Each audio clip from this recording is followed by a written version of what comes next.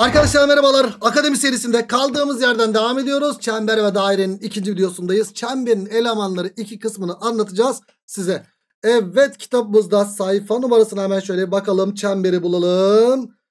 Kitabımızda sayfa numarası 156 yani kirişle başlıyoruz. Sonra 157, 158, 159 ve 160'ın da yarısını işleyeceğiz. Güzel şeyler işlemeye devam edeceğiz. Güzel şeyler öğrenmeye devam edeceğiz. Hadi bakalım dersimize başlayalım. Çember elemanlara devam. Çemberde en etkili silahımız neydi? Yarı çap. Bunu unutma. Bunu da kullanmaya devam edeceğiz. Şimdi bir anahtar kelime öğreteceğim size. Mükemmel bir şey. O anahtar kelime çoğu dik üçgen sorusunda bizi çözdürüyor. Önce bir kiriş tanıyalım. Çember üzerindeki farklı herhangi iki noktayı birleştiren doğru parçasına biz kiriş adını veriyoruz. Çemberdeki kiriş bu. Evdeki kirişle karıştırmayın. Yani binaların kirişiyle karıştırmayın. Çemberdeki kirişle çember üzerindeki iki noktayı birleştiren doğru parçasına işte biz buna kiriş adını veriyoruz. E hocam kirişle ilgili ne var? Ne özelliği var? Kendiliğinden çıkıyor. Anahtar kelimemiz şu. Merkez varsa, teğet varsa çektik diye bağıra bağıra çözüyoruz. Niye hocam? Şimdi bak çemberin merkezi burasıysa. Kirişte varsa ne yapıyorsun? Çektik.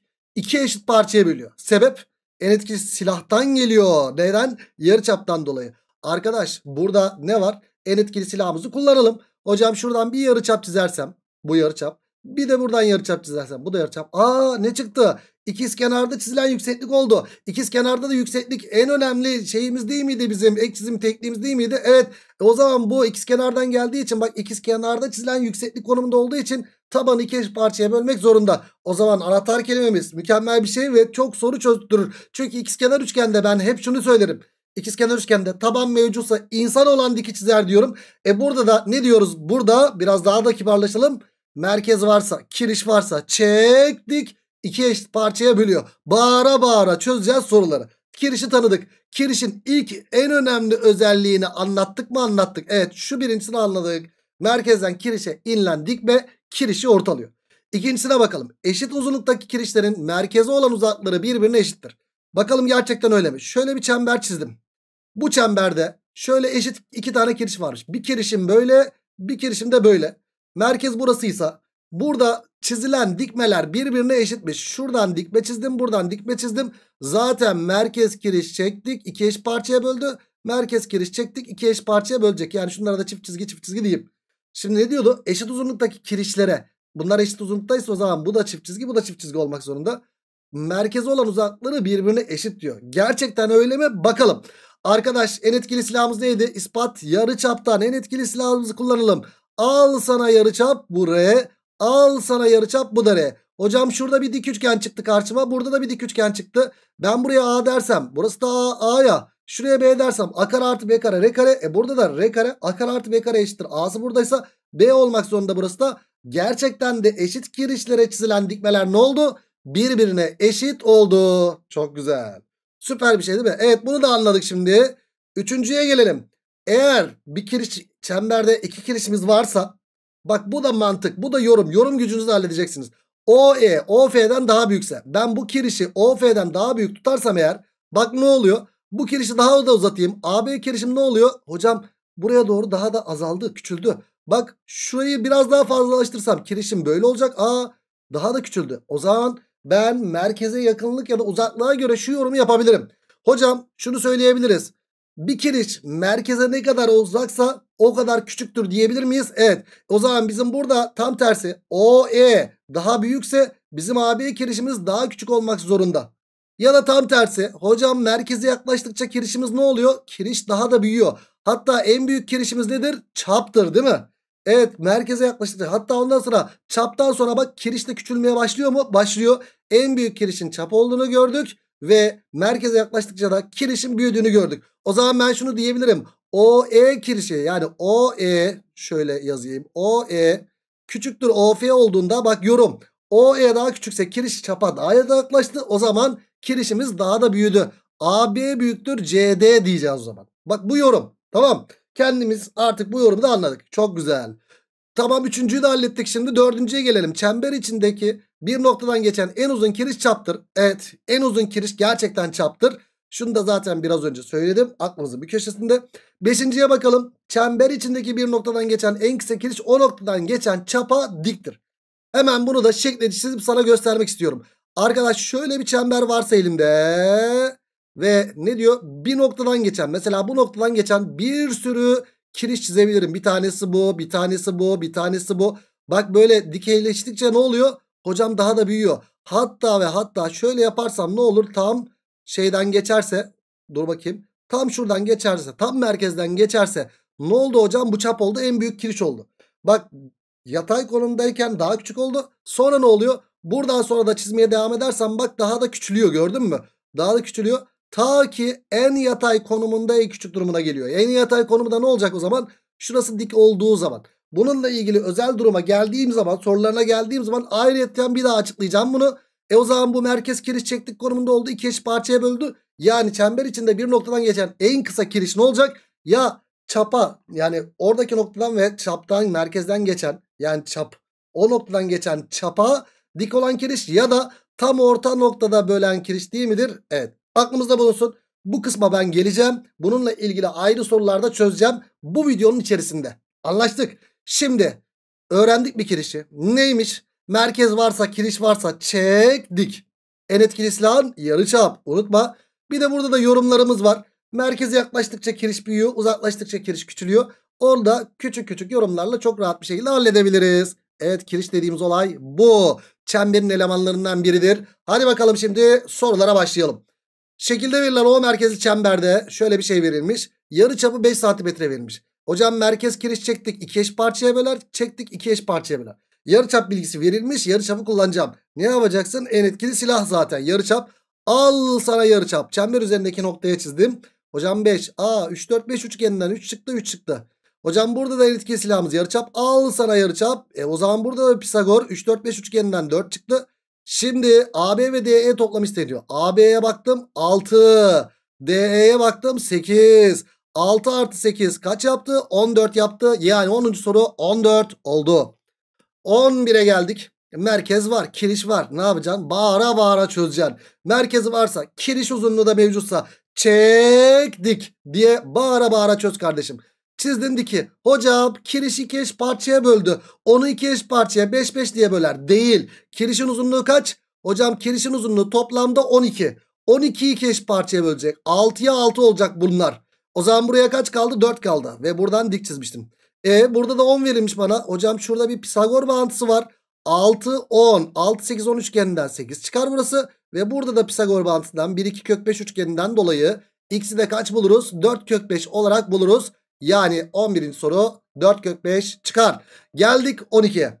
Şekilde o merkezi çemberde merkez var. Kiriş var. Çek dikler yapılmış. Bir de bak yorum var. OE OF'den daha büyük. Şimdi OE daha büyükse bizim kirişimiz böyle daha da uzakta olmak zorunda değil mi? Uzakta olunca ne oluyor? Küçülüyor. Yani bu ne demek? OE büyüktür OF ise AB kirişimiz küçüktür CD kirişi olmak zorunda. E AB'yi zaten 5x artı 6 vermiş. Küçüktür CD.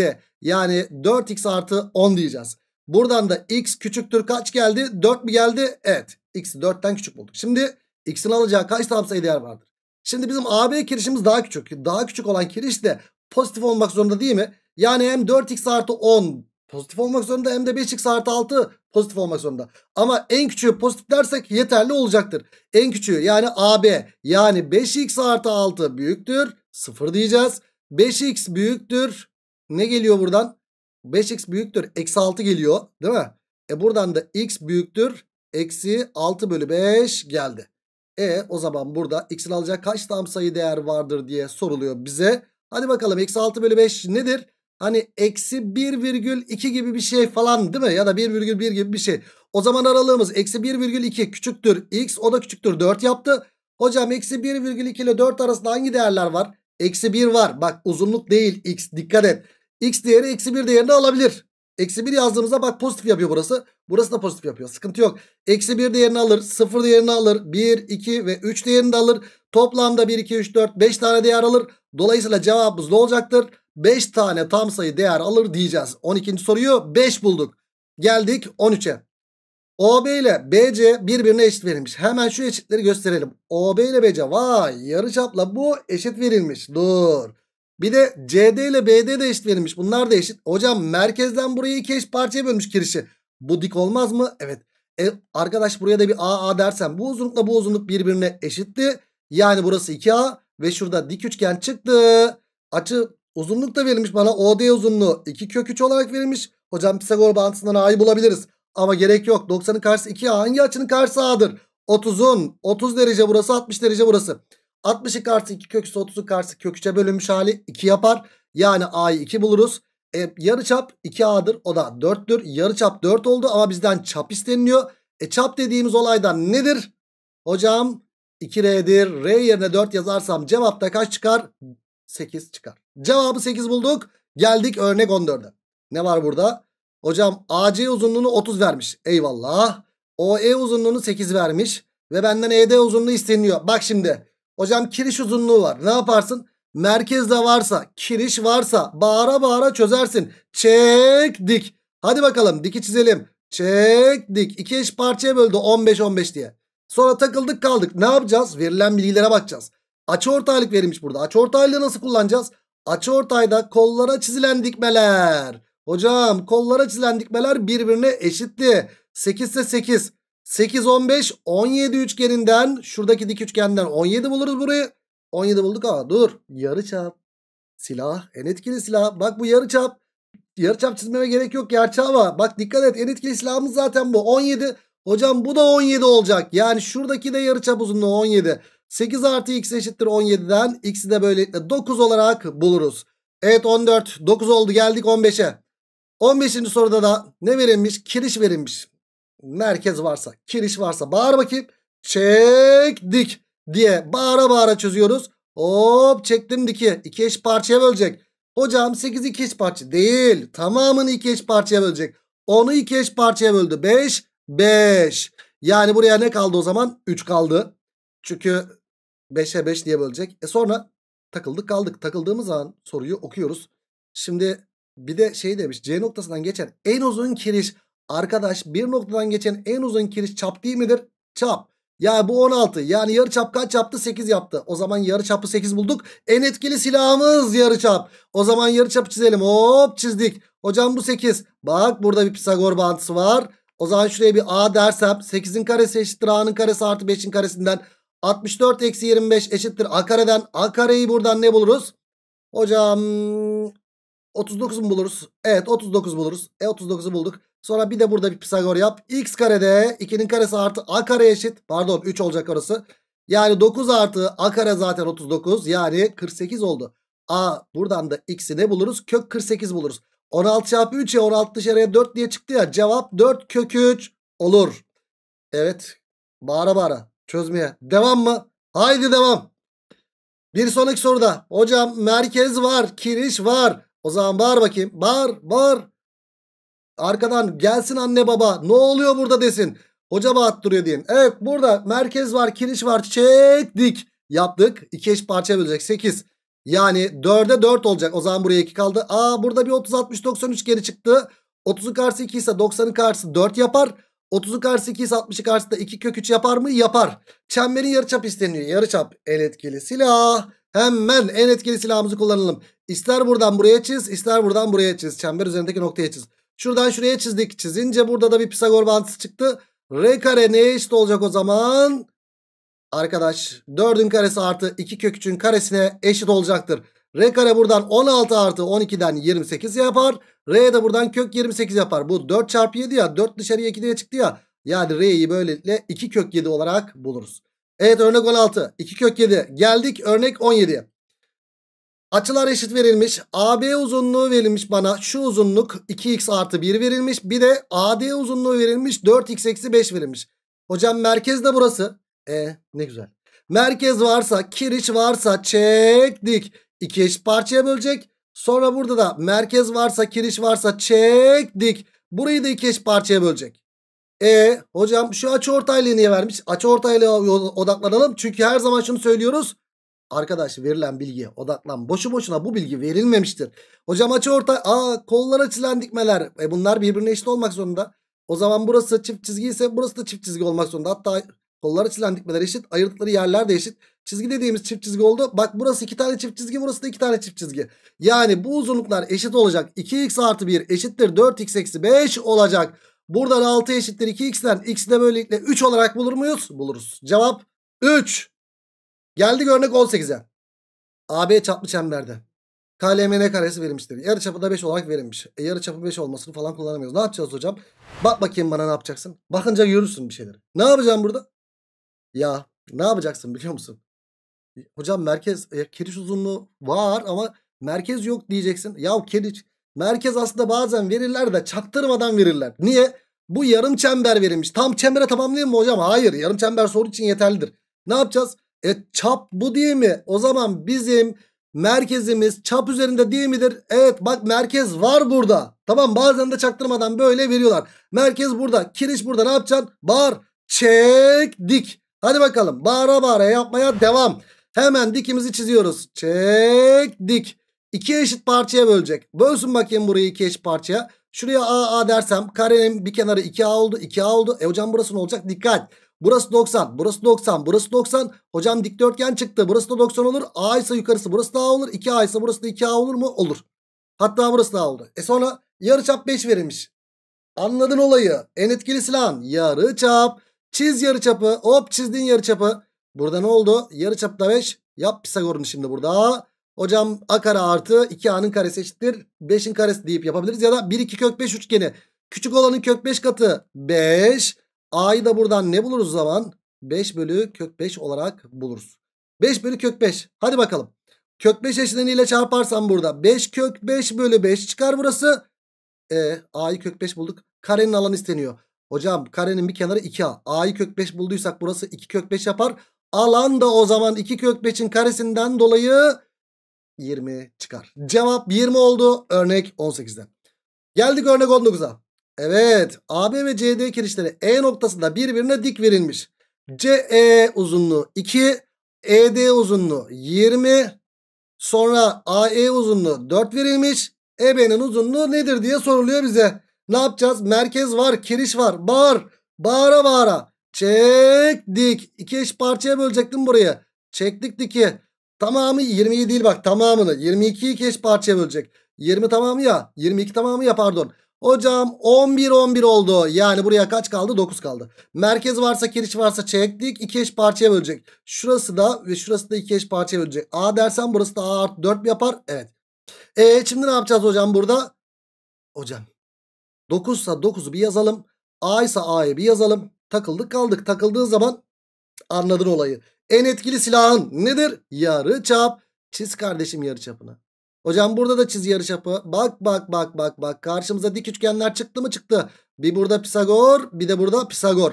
E R kare neye eşittir? Üstteki Pisagor'da A ve 11'in kareleri toplamı. A kare artı 11'in karesi. Hatta aşağıdakinde de R kare. Bunun karesi artı bunun karesi. Yani A artı 4'ün karesi artı 9'un karesi yaptı. Her ikisi de R kareye eşit. O zaman bunlar birbirine eşit. E o zaman A kare artı 121 eşittir. A kare artı 8A artı 16 artı 81 yaptı burası. Şimdi buradan A kareler nanay oldu. 81 attım öbür tarafa 40 yaptı. 40'tan da 16 çıktı. 24 geldi. 8A 24 ise A'yı da buradan 3 olarak buluruz. Ama benden EB'nin uzunluğu isteniyor.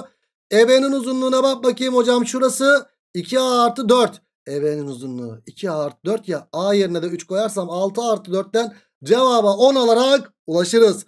Evet gençler cevap 10. Nasıl? Çok zevkli değil mi? Bağıra bağıra çözmüyor muyuz? Ve eski konuları çok fazla içermiyor. Sadece dik üçgen Pisagor bağıntısı ki geometrinin kalbi orası. Pisagor bağıntısını bilen arkadaşlar çemberde bu çember konusunu çok rahat bir şekilde yapacak. Buna inanıyorum. Görüyorsunuz zaten çok akıcı gidiyor. Evet 20'ye geldik. 20'de ne var?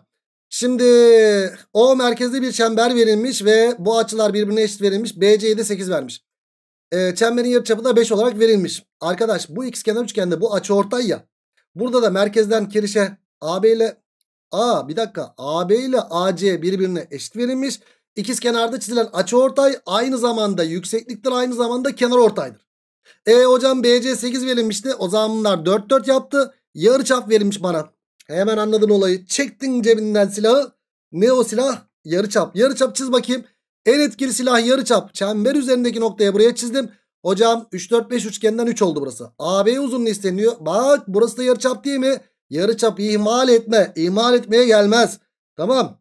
Yani hemen 5'i yazalım buraya. Cevap da kaç yaptı o zaman? 5 3 daha 8 yapar. Örnek 28 çıktı. Dur. Neresi isteniyor benden? Yok. A, AB isteniyormuş. Burayı 8 bulduk. O zaman şuradaki üçgende hocam şurası 8.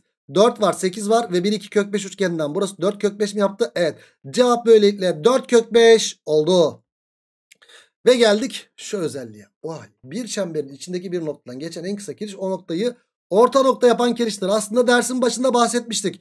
Şöyle bir çemberimiz varsa elimizde şu noktadan geçen en kısa kiriş ne dedik? Anlattık. Biz bunu anlattık. Kalemle, defterle, silgiyle her şeyle anlattık. İşte bu tam böyle ortadan geçen kiriş değil miydi? Evet.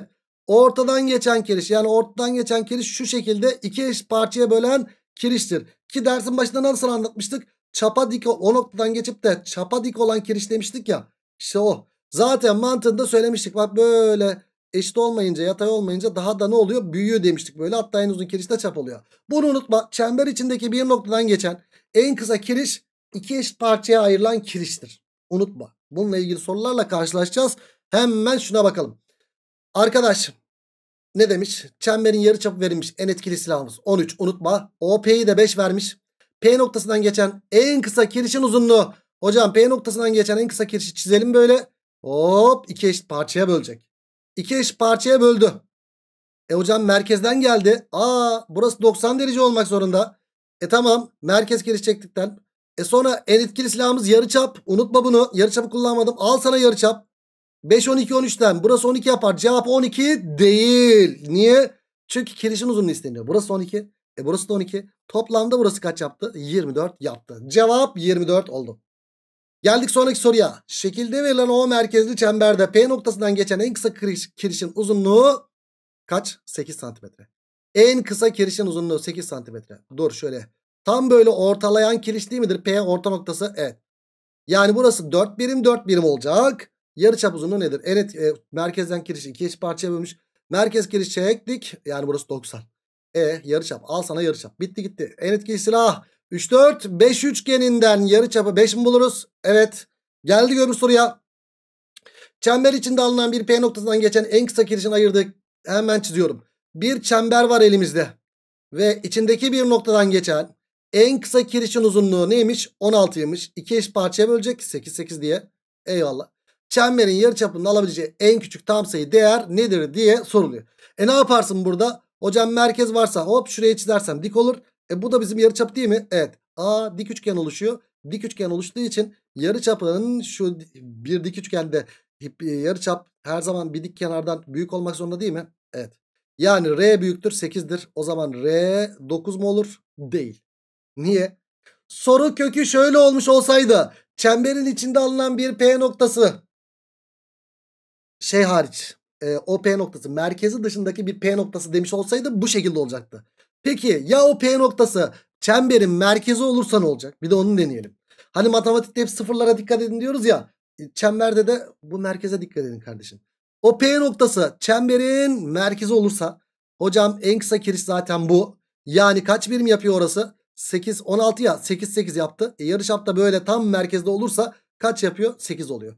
E burada soru kökünde e, merkezi dışında bir nokta dememiş. Yani merkezi olarak da alabilirim. Normalde merkez dışında olsa en küçüğü 9 olacak. Ama merkez aldığın zaman da en küçüğü 8 oluyor. Dikkat gerektiren çakal çukal sorulardan bir tanesi de bu arkadaşlar. Böyle sorularda dikkat etmek lazım. Ben sizin dikkatinizi böyle bir yere toplamaya çalışıyorum. Her şeye hazırlıklı olun. Evet örnek 23'ü 8 bulduk. Geldik örnek 24'e 24'e gelmeden kesen. Kesen ne demek? Arkadaş adı üstünde bir çemberi kesip geçen noktaya iki noktada kesip geçen noktaya doğruya pardon kesen adını veriyoruz. E kesen doğrusu aynı zamanda bir ne oluşturuyor? Kiriş oluşturuyor. İşimiz kirişli olacak büyük ihtimalle. Hemen 24. soruya bakalım. Şekilde O merkezi çemberde P noktasından çizilen kesen çembere C ve D noktalarında kesişmektedir. Evet 30 derece verilmiş. CD 8 verilmiş. Hocam burası 8 verilmiş. Sonra da burası K iken burası 10K verilmiş. Evet Ali Bey 10K verilmiş. E o zaman çapı 10K ise bunlar yarıçap 5K 5K yaptı. Ve burayı da K vermiş. Ne yapacağız? Merkez var. Kiriş var. E o zaman ne duruyorsun? Çektik. Hemen diki çiziyorum. Çektik. 2 eş parçaya böldü. 4 4. E sonra ne yapacağız hocam? Aa 30 60 90 üçgen çıktı burada. Ve şuraya bakar mısın? Burası 6K oldu. Hocam 90'ın karşısı 6K ise 30'un karşısı 3K olur. E ben ne biliyorum bir de? Yarı çapın 5K olduğunu biliyorum. Hop çıkarttım. En etkili silah neydi? Yarı çap. Hadi bakalım. Al sana yarı çap. Bitti. Yarı çap uzunluğu da 5K. Aha da burada Pisagor. 3 5. 3 4 5 üçgeninden 4K yapar burası. 4K 4 olur. K'yı buradan 1 buluruz. Benden çemberin yarıçap isteniyor. Yarıçap da 5K'ya eşitti. K yerine 1 yazarsam cevap 5 yapar. Mükemmel bir soru değil mi kardeşim? Geçtik soruya. Sonraki soruya. Şekilde ne verilmiş? İki tane doğru denklem verilmiş. Aa hocam analitik ne alakası var deme. İki doğru verildiği zaman ne yapıyorsun? Hemen şuna bakarım ben ya. Eğimlerine bakalım. Kestiği noktaya bakarım. Değil mi? Ee, ortak çözüm yapmadan önce bir eğimlerine bakalım. M1 dediğim 2. M2 dediğimde eksi A bölü B'den eksi 1 bölü 2. A M1 ile M2'nin çarpımı eksi 1 ya da bu ters çevirip eksiyle çarpmış. İki doğru dik demek değil midir bu? Hocam iki doğru dik demektir. O zaman burası 90 derecedir. Merkez kiriş çektik oldu. İki eş parçaya bölen burası böler. AB'yi 8 vermiş. Bunlar 4 4 olur. Çemberin yarıçapında 5 vermiş. Al sana yarıçap. En etkili silahı çektik. E, 3 4 5 üçgeninden dolayı burası da 3 olur mu? Olur. OC uzunluğu isteniyor. Cevap böylelikle 3 yapar. Geldik örnek 26'ya. Analitik düzlemde O merkezli bir çember ile bir D doğrusu A ve B gibi iki farklı noktada kesişiyor. Evet şöyle bir çember verilmiş. Çemberimiz bu şekilde ve bir de doğru verilmiş. A ve B noktalarında kesiyormuş bunlar. Bu doğru. Çemberin merkezinden de geçebilir. Rastgele çizdim. Çemberin merkezinin D doğrusuna olan uzaklığı verilmiş. D doğrusuna olan uzaklığı kaç verilmiş? 8 eksi 2M verilmiş. E, ve çemberin yarıçapı da 5 santimetre olduğuna göre. E, çemberin yarıçapı da 5 santimetre. Tamam. Yani en etkili silahımız yarıçap. Al sana yarıçap. Ve yarıçap neydi? 5. E, M'nin alacağı tam sayı değerlerin toplamı nedir diye soruluyor. Arkadaş 8 eksi 2 emin ne olması lazım? 5'ten küçük olması lazım. Çünkü anladın olayı. Çünkü dik üçgende ne oluyor kardeşim? Dik üçgende hipotenüs her zaman en uzun kenardır. E buradan 3 küçüktür 2m'den 1,5 küçüktür m mi geldi? Yani m 1,5'tan büyük mü geldi? Evet. Peki arkadaş bir de bu sıfırdan büyük olmak zorunda. Bir uzunluk sonuçta değil mi? Evet. Ama ama 8 eksi 2m'in sıfırdan büyük olması lazım. Peki ya o doğru merkezden geçseydi ne olurdu? Şöyle. O zaman merkezin bu doğru olan uzaklığı sıfır olmayacak mıydı? Yani burada eşitlik de söz konusu. Çakal soru.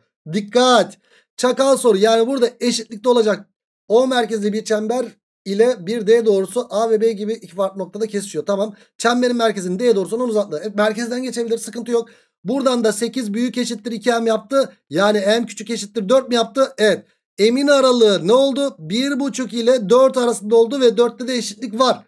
Bizden ne isteniyor? M'nin alacağı değerler toplamı 2 alır, 3 alır ve 4 alır. Ve topladığın zaman da kaç çıktı? 9 çıktı. Sen yapmış olsaydın büyük ihtimalle cevaba 2 artı 3 5 değil mi hocam ya derdin. Ama merkezden geçmesine de dikkat edeceğiz. Geldik çember elemanlarından sonuncusuna. Yay. Çember üzerinde alınan iki farklı noktayı böyle çember üzerinde birleştirdiğimiz zaman işte buradaki kısma biz ne diyoruz? Yay adını veriyoruz. Çember üzerinde alınan farklı iki nokta arasında kalan çember parçasına bu. Hocam bu nasıl gösteriliyor? AB yayı diye gösteriliyor bu. Yalnız hocam AB yayı deyince biz böyle bu tarafa doğru gittiğimizde bu tarafa alınmaz mı? Hayır. Eskiden böyle buraya minör yayıydı. Burayı majör yayı diyorduk. Artık bu kullanılmıyor. AB yayı deyince e, ne yaparız? Küçüğü algılarız. Hocam buraya al, burayı söylerlerken ne yaparlar? Buraya x derler. Burası da AXB yayı şeklinde söylerler. Tamam. AB yayı dediği zaman hangisi küçükse oraya bakacaksın. Anlaştık. Evet. Yayı tanıdık. Yayla da ilgili bir soru soralım. Biraz da zor bir soru sormuşuz. Bakalım nasılmış. Yukarıda şekil 1'de verilen O merkezi çemberde AB paralel CD verilmiş. Şimdi şunlar birbirine paralel. Eyvallah. Sonrasında bir katlama yapılmış. Katlama nerede olursa olsun mutlaka o katlamayı eski haline geri getir. Hop şöyle. Eski haline geri getirdik kardeşim. Peki önemli olan bir de K noktasının O'ya gelmesi. Bak K noktası burada. O'ya geldi. Peki katlarken nedir? Eski haline geri açtık ama hocam şöyle aslında bu noktanın buna göre simetriği değil midir? Noktayı böyle Şu yukarıdaki parçanın aşağıya göre simetrisini bu doğruya göre simetrisini aldık. E bu noktanın da bu doğruya göre simetri tam O'ya gelmiş ya. Simetrisi demek 90 derece demek ve iki eş parçaya bölüyor demek demek demek dememek mi? Evet. Demek mi? Evet. Değil mi? E CD'yi kaç vermiş bize? 2 kök 3 vermiş. Aa burada ne oldu? Buranın 90 derece olduğunu biliyorsam CD'de 2 kök ise merkez kiriş çektik. 2 eş parçaya böldük. Kök 3 kök 3 oldu. Takıldık kaldık. Ne yapacağız? Ay ay ne yapacağız? Ben duruyorum sen bul. Sen bul bul. Bulsana kardeşim. En etkili silahını kullan. Yarı çap. Çiz yarı çapını kardeşim. Hop çizdin yarı çapı. Aa hocam bu da yarı çap. Buraya A A dersem 2A. Burası da 2A. Bak ne çıktı burada? Bir üçgen. Pisagor bantısından bulabilirsin. Ya da 30 60 90 üçgen çıktı. 90'ın karşısı 2A ise 30'un karşısı A'dır. 30 60. E o zaman A kaç yapar? 30'dan 60'a geçiş kök 3 kat ya. A'yı buradan 1 buluruz. O zaman 2A kaç çıkar? 2 çıkar. Çemberin yarıçapı isteniliyor. Yarıçapta zaten bak burası. Yani cevap 2 çıkar. Evet gençler burayı da böyle 2 bulduk. Ve çemberin elemanlarını bitirdik mi? Bitirdik. O zaman ne diyoruz? Bir sonraki dersimizde çemberde açıya başlıyoruz. Çemberde açıda da buradaki kullandığımız teknikleri yine kullanmaya devam edeceğiz. Bağıra bağıra soruları çözmeye devam edeceğiz. O zaman çemberde açıda görüşmek dileğiyle kendine iyi bak. Hoşçakal.